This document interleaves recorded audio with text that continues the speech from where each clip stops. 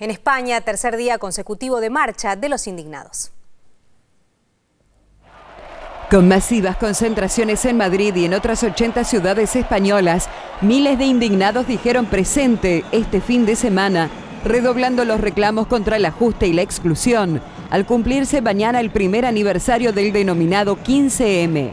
La policía desalojó violentamente la madrileña Puerta del Sol en la madrugada del domingo, deteniendo a 18 manifestantes.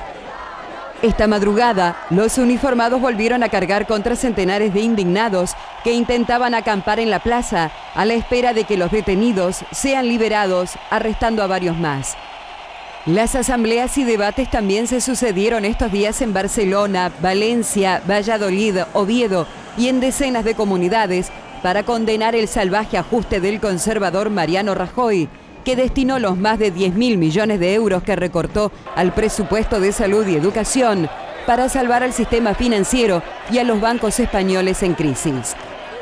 Hubo minutos de silencio contra la violencia económica y las guerras. Los indignados también hicieron oír su voz en Grecia, Alemania, Londres, Portugal, Israel, Italia y en los Estados Unidos.